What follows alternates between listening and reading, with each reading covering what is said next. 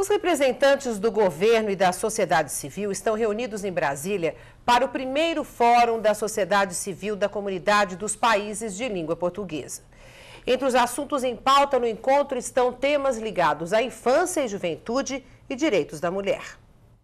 Brasil, Cabo Verde, Angola, Guiné-Bissau, Moçambique, Portugal, São Tomé e Príncipe e Timor-Leste. São oito nações da comunidade dos países de língua portuguesa que até sexta-feira reúnem representantes em Brasília para dizer que todos têm a mesma origem.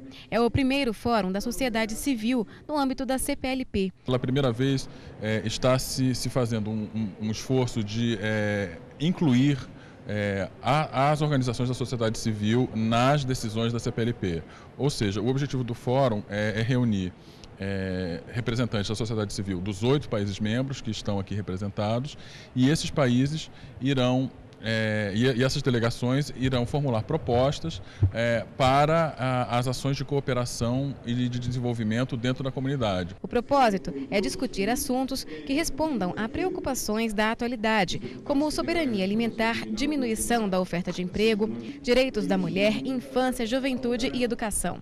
Os temas vão ser analisados dentro da diversidade dos países que falam o português e os resultados serão apresentados na nona Conferência de Chefes de Estado e Governo governo da CPLP, prevista para o ano que vem em Moçambique, na África. O que nós sonhamos para esses dias é que nós tenhamos aqui a tomada de decisões a partir dos representantes de cada uma das nações aqui, aqui presentes, que nós tenhamos uma troca de energia, uma troca de sabedoria, uma troca das experiências que cada um de nós realizamos para que nós voltemos aos nossos países com o reforço desta convicção, com a certeza de que, de fato, a CPLP daqui para frente será outra.